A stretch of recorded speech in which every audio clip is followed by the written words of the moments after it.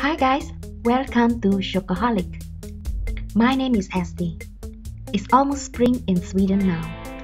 Today, I spent a beautiful day on a hilltop with Andreas and we met this little cute fellow. We adore dogs and we hope to have one when we retire. This dog is so sociable. He got really excited when he saw us. It's a pure joy to spend time with animals, don't you think? In today's Cook and Chat, I will show you how to cook this delicious dragon chicken and chat about late winter in Sweden. Besides skiing, snowboarding, scooter, there are also other activities you can do during this time of the year. And I shall share some of the unique experience while I cook. I hope this information is useful for those of you who are planning to visit Sweden in the future. Dragon chicken is a really delicious appetizer for those of you who love Indo-Chinese cuisine. This dish is very simple to prepare. It fits all occasions and is perfect as a side dish to a fried rice, for example. Usually, boneless chicken is used in this recipe. It is shallow fried and then blended into a tomato sauce. The vibrant red color from the tomato sauce is very appealing, therefore it is tasty and it can be made effortlessly. And if you are ready, let's get started.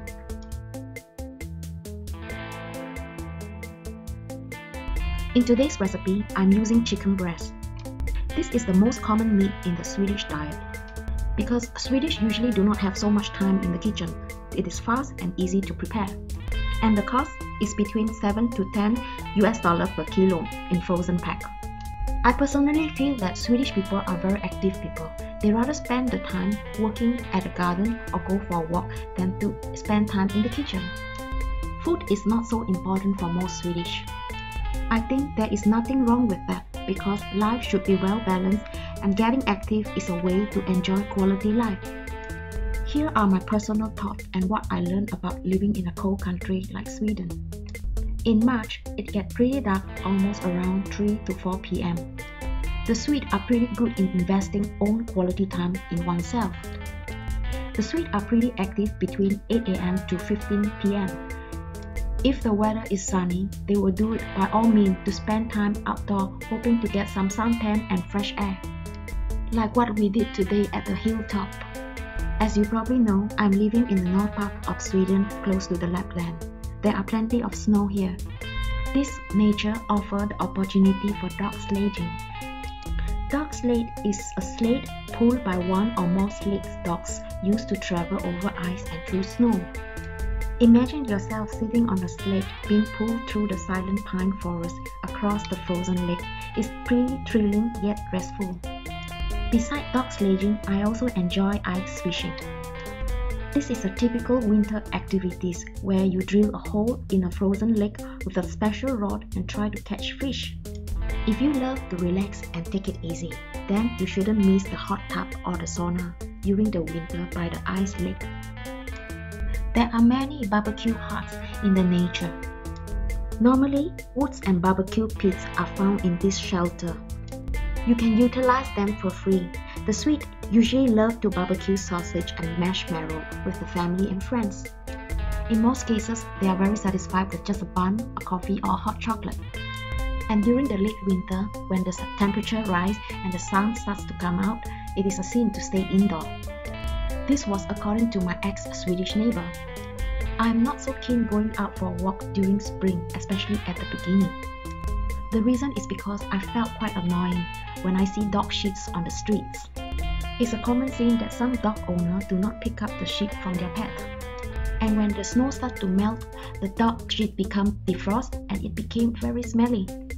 So, can you imagine 4 months of dog shit accumulating along the streets everywhere you go? It is not a pretty scene, isn't it? And it's absolutely disgusting.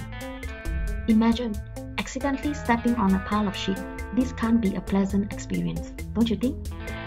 This is actually the only problem I have in spring, and I hope that the authority could do something about it.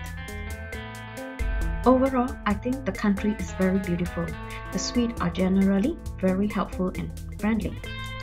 Maybe I live here long enough but Sweden to me isn't as cold as you might expect. Travel during the winter is somewhat required planning as well as serious winter clothing. As you can see here, the tomato sauce I'm using is quite watery, So I let this simmer for 5 to 10 minutes actually, so that it reduces to half its portion. This will improve the flavors of the tomato and when you pour the chicken in, the chicken will not become too sloggy. Mmm, I think the chicken is ready to be served. Let's put the topic aside and let's eat. I can't believe that this dish actually just took 30 minutes for me to cook. I really like the crispiness from the chicken and the sour from the tomato sauce. After tasting it, it reminds me of the Chinese sweet and sour chicken.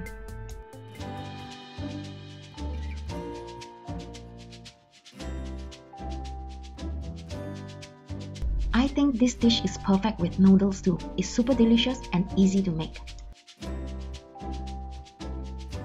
I hope you like this recipe and give this a try and send me a comment.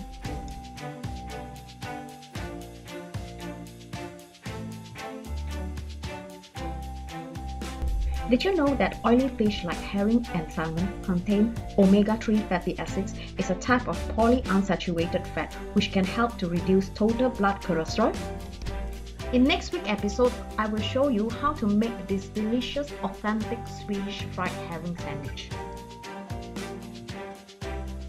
I will also feature some of the photos taken during this week. So you have a better idea what is in my grocery bag and what I have been eating. Thank you so much for watching and sharing our videos. Give us thumbs up if you like this video. Till then, I'll see you again. Bye, take care.